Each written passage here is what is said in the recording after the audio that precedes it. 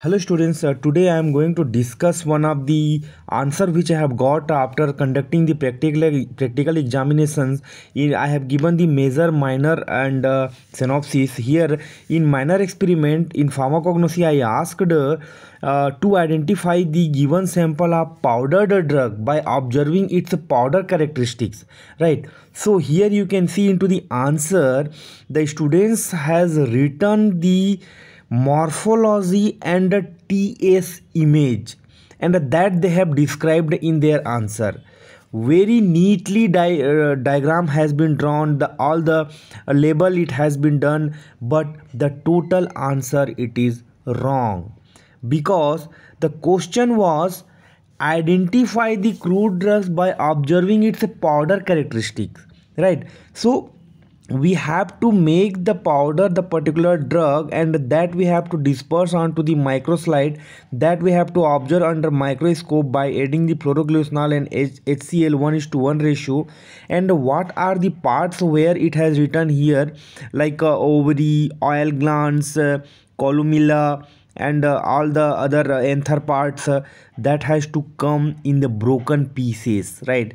That is missing here. That is the complete wrong answer. So during the lockdown during the online class the whatever the practical it has not been conducted that is the outcome. The students doesn't know that what is the image of powder characteristics that's what because uh, most of the people they have written the records overnight or into the recently when the practical examination date has been announced. So that is the drawback to students. Be careful in your semester exam in your university exam you should know the what is the difference between the the histological characters of the ts and the powder. Both are the different form of drug right? Here one more answer i am sharing you in minor experiment the same question where i have given the uh, identify the crude drugs by observing its uh, hist uh, the powder characteristic of the powdered drug.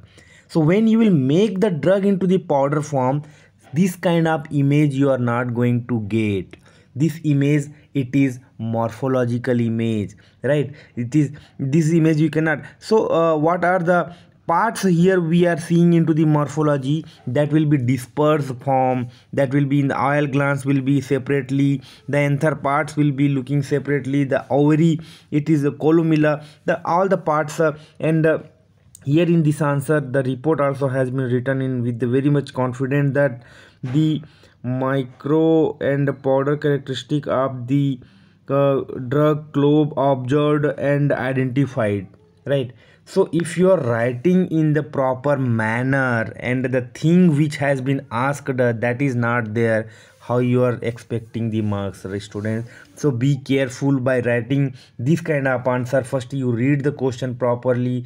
First you see the what are the drug you have got what has been asked and uh, then only you should go for the uh, so this answer uh, the revealing this particular answer that is the only to be make you people cautious that what answer what question has been asked and what is the going to be the answer. This image is completely wrong. These two answer i cannot give the single marks for that. Thank you